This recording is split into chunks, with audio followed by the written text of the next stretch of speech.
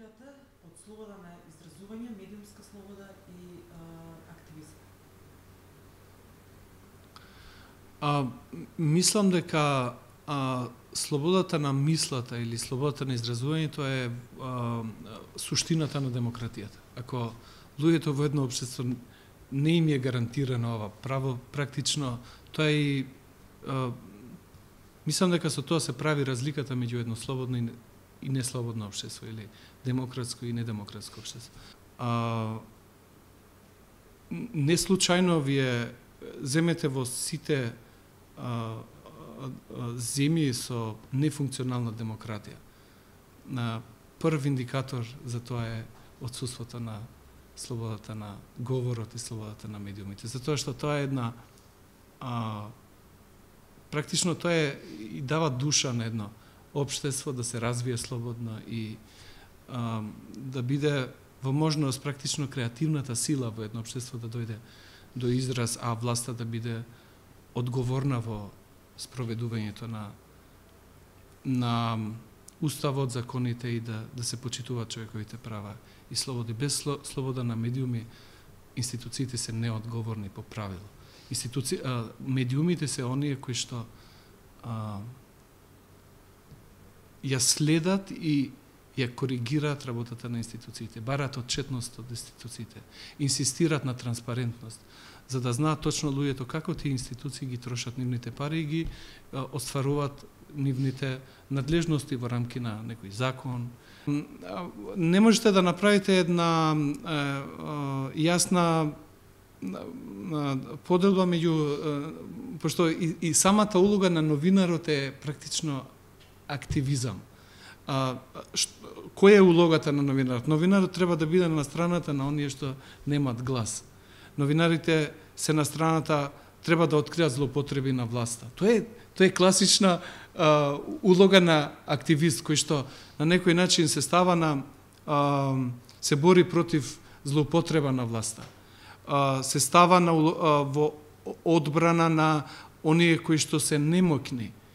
И практично активистите, граѓанските активисти, тоа е улогата на граѓанските активисти да се а, заштитат правата на оние што се најслаби во, во обштеството. Иначе, оние што се мокни, што имат власт, што имат пари, на нив не им требат граѓански активисти да, да ги заштитат нивните пари, практи, а, нивните права. Практично, тие што се немокни во едно обштество, а, им требат активисти кои што во нивно име ке, ке промовираат некои вредности или ке заштитуваат, ке се обидуваат да се заштитуваат некои, некои права. На кој начин ги подржувате, можете вие лично да ги подржите и слободата на изразувањето и развојот на слободата во медиумите, па и во крајна линија? Ако ако не биде нескромно, ја мислам дека Сдруженијето на новинарите во последните 8 години е најголем промотор практично на а, слободата на говорот и слободата на на медиумите. Мислам дека а, сме дале придонес луѓето да разберат што во суштина што представува слободата на говорот и слободата на медиумите. И сме се обидувале да создадеме ам, една перцепција во јавноста дека она за што ние се залагаме тоа е добро за сите. И на висина мене ми е драго кога на во град на улица луѓето ме застануваат и ме и ме охрабруваат за тоа, тоа што го правам. Затоа што тоа покажува дека на висина тие тоа го чувствуваат како дека тоа што ние го правиме дека е, е тоа за доброто, за нивно добро и дека тоа е заедничко добро. И тоа е нај, најголемата сатисфакција како човек а, после толку години на а, залагање, инсистирање, а, јавно говорење во јавноста дека дека без слободата на говорот ова земја не може да се развие слободно и на демократски демократски начин. Дали се соочувате со притисоци од политичката и од политичките и бизнес центрите и а, како се справувате со? Ам,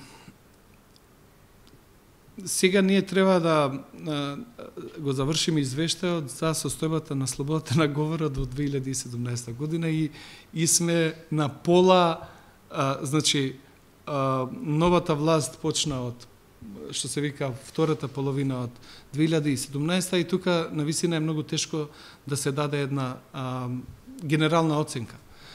А, што се однесува до а, состојбата со предходната власт, а, можам најодговорно да ви тврдам дека ги имат а, применето сите форми, можни форми на притисок врз мене и врз луѓето кои што работат во Сдруженијето во обид да не, да не замолчат. Ама верувајте дека сите можни форми на притисок институционален на било каков начин да не заплашат и да не одвраќат од тоа што што го правиме.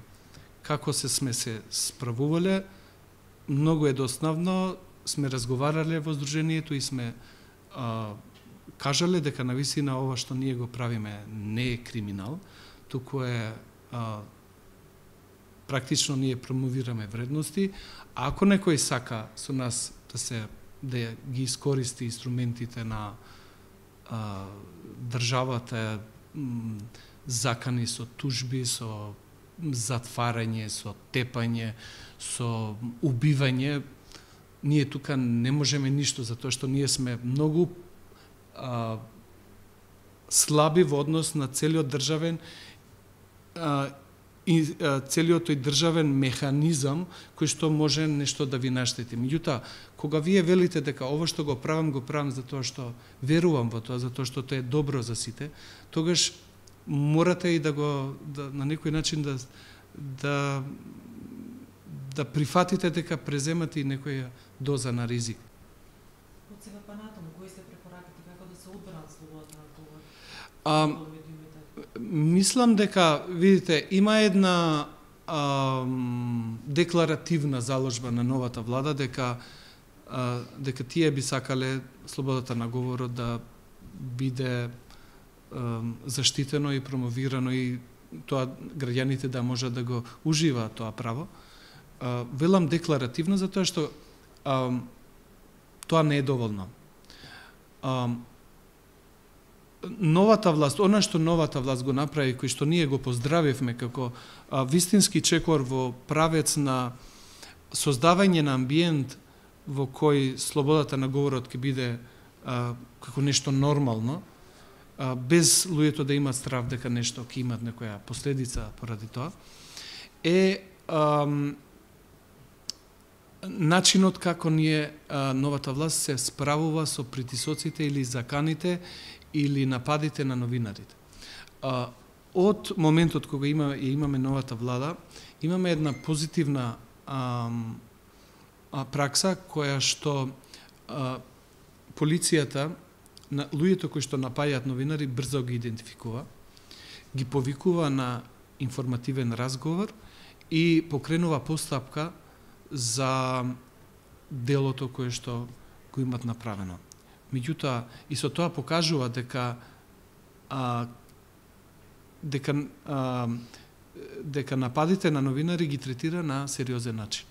И дека тоа не е само напад на новинар, туку е тоа а, атак врз а, правото на граѓаните да бидат информирани. Меѓутоа, тоа не е доволно, затоа што ако ние не успееме во, мина, во изминатиот период да ги а, расветлиме сите напади на новинари и луѓето кои што се дрзнале да напаѓат новинари не завршуваат пред лицето на правдата, не одговарат за нивното недело, а, а впечатокот во јавноста ќе биде недобар, затоа што а, тоа е најдобар начин да им кажувате на луѓето дека не смеете да напаѓате новинари. Затоа, ако тоа се случи, дека било кој да е, тој ќе сноси одговорност.